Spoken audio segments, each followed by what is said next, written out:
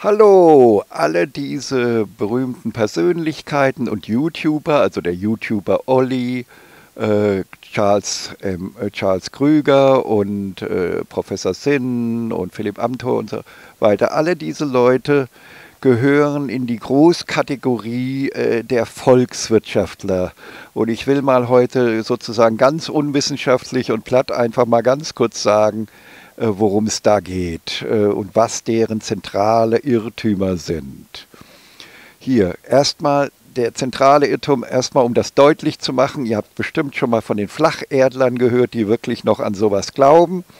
Und das ist so, wenn man also Kopernikus, Kepler, Galilei, Newton, also echte Wissenschaftler ignoriert äh, sozusagen, dann, ist, dann wird man halt zum Flacherdler und zum Pseudowissenschaftler und Antiwissenschaftler.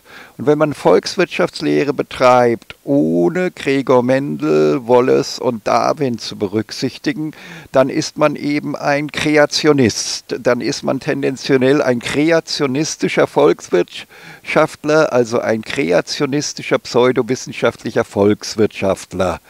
Und das sind alle die angesprochenen Personen. Äh, und äh, äh, das heißt, äh, oh, äh, sie ignorieren eigentlich äh, die Ergebnisse anderer Wissenschaftler und sind insofern Pseudowissenschaftler und in diesem Falle eben umgangssprachlich würde man sie bezeichnen als Kreationisten, weil sie quasi irgendwie ohne Evolutionsprozesse in Wirtschaftssystemen zu berücksichtigen äh, pseudowissenschaftliche Volkswirtschaftslehre betreiben.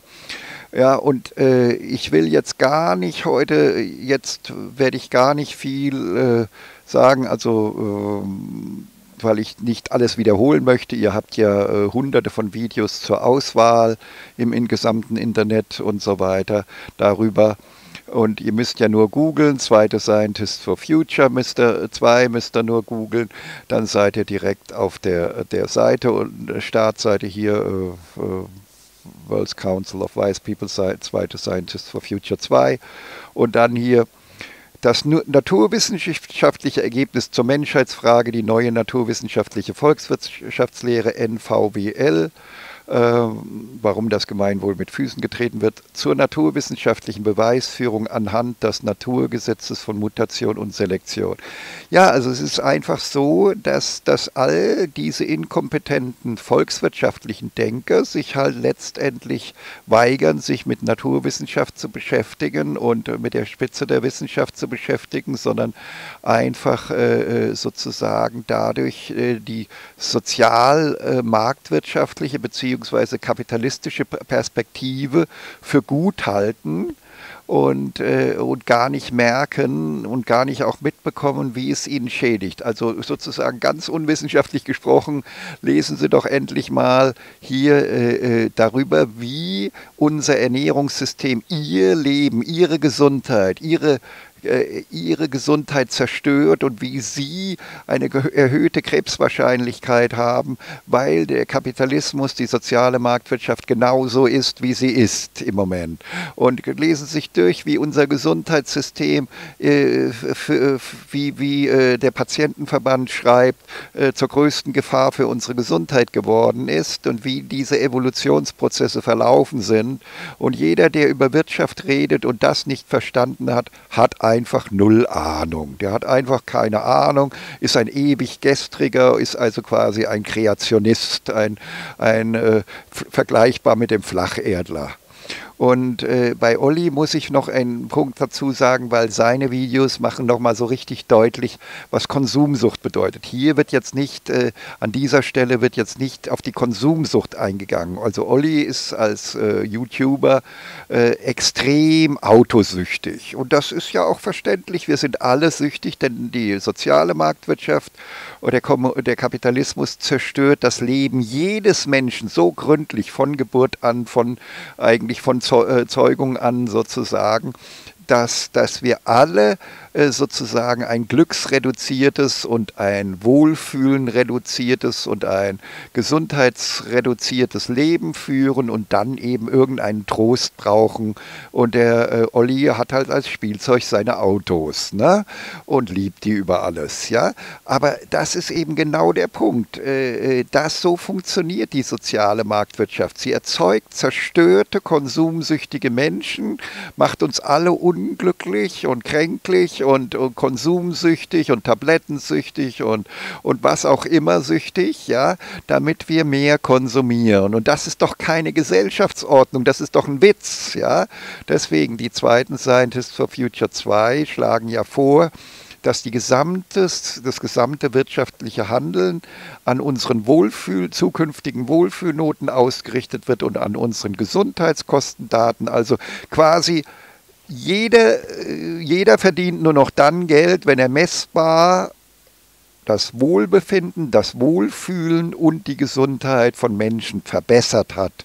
Und äh, der Kapitalismus ist genau das Gegenteil. Kapitalismus heißt, zerstöre das Leben von Menschen, mache da, äh, erzeuge so arme, unglückliche, konsumsüchtige Menschen wie den Olli, de, den YouTuber Olli äh, mit seiner Autokonsumsucht sozusagen. Äh, mach uns alle äh, konsumsüchtig, das ist das Motto äh, des Kapitalismus und das ist etwas komplizierter zu erklären. Ich will aber niemanden überfordern, lest erst erst einmal über das Ernährungssystem und das Gesundheitssystem, damit er erstmal begreift, wie wir also durch unser Ernährungssystem äh, krebskrank gemacht werden und, und, und äh, ein erhöhtes Krebstodrisiko haben, was völlig unnötig ist und nicht nur ein erhöhtes, sondern ein drastisch erhöhtes Krebstodrisiko haben und wie unser Gesundheitssystem teilweise, großenteils mehr Krankheit begünstigt, als dass es verhindert oder äh, behandelt oder heilt. Äh, und äh, äh, wie also der, die soziale Marktwirtschaft sozusagen eigentlich nur ein schöner Schein ist, eine Illusion ist ist und nur deswegen so gut dasteht, weil natürlich die pseudokommunistischen und pseudosozialistischen Experimente, die nicht wissenschaftlich durchgeführt wurden und nicht wissenschaftlich gesteuert waren, also nicht von der neuen naturwissenschaftlichen Volkswirtschaftslehre bestimmt waren, weil die sozusagen natürlich scheitern mussten und, und alles zerstört haben und äh, quasi wir, wir argumentieren so, ja, weil die pseudokommunistischen und pseudosozialistischen Fehlexperimente so schrecklich waren, sind wir äh, ja mit dem Kapitalismus und der sozialen Marktwirtschaft ja so viel besser dran.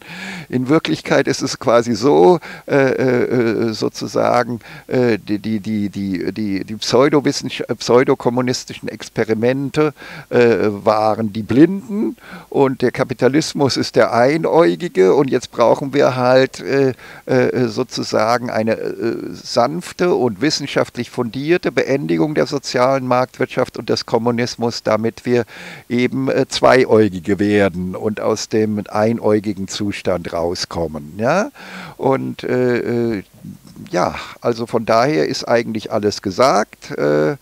Wie gesagt, äh, an, äh, für Olli kann ich leider jetzt nicht dienen, weil es würde überfordern, jetzt, äh, es wäre eine lange Geschichte zu erklären, wie genau die Evolution der Konsumsucht in der sozialen Marktwirtschaft ist.